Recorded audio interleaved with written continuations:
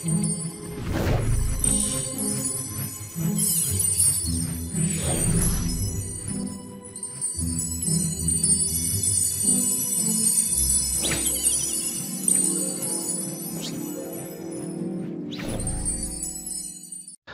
khi đang mang thai, khi nào thì cần nói không?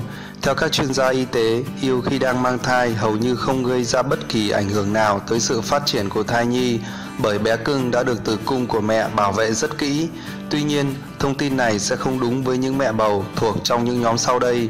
Trong hầu hết các trường hợp, quan hệ khi đang mang thai sẽ không gây ra bất kỳ một ảnh hưởng nào đến thai nhi Thậm chí, do được bao bọc kỹ càng trong túi ối, bé cưng sẽ chẳng nhận thấy một thay đổi nào trong cả quá trình này.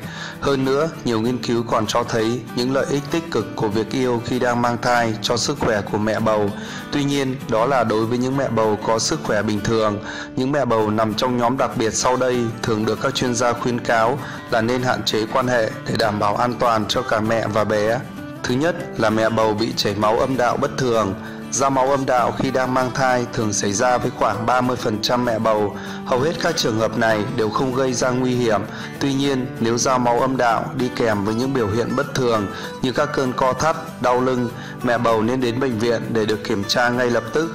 Tất nhiên, việc quan hệ trong những trường hợp ra máu chưa rõ nguyên nhân cũng sẽ không được khuyến khích. Thứ hai là nhau tiền đạo. Cùng với sự phát triển của thai nhi, bánh nhau được hình thành và chịu trách nhiệm cung cấp các chất dinh dưỡng cho bé. Tuy nhiên, một số trường hợp nhau thai bám bất thường có thể gây ảnh hưởng nghiêm trọng tới sức khỏe của bé. Nhau tiền đạo được chia thành nhiều mức độ khác nhau, nhưng trong phần lớn các trường hợp, bác sĩ sẽ khuyến cáo mẹ bầu nên hạn chế giao ban. Thứ ba là nhau bong non. Nhau bong non xảy ra khi một phần hoặc toàn bộ nhau thai tách ra khỏi thành tử cung, làm gián đoạn quá trình truyền oxy và truyền chất dinh dưỡng đến thai nhi.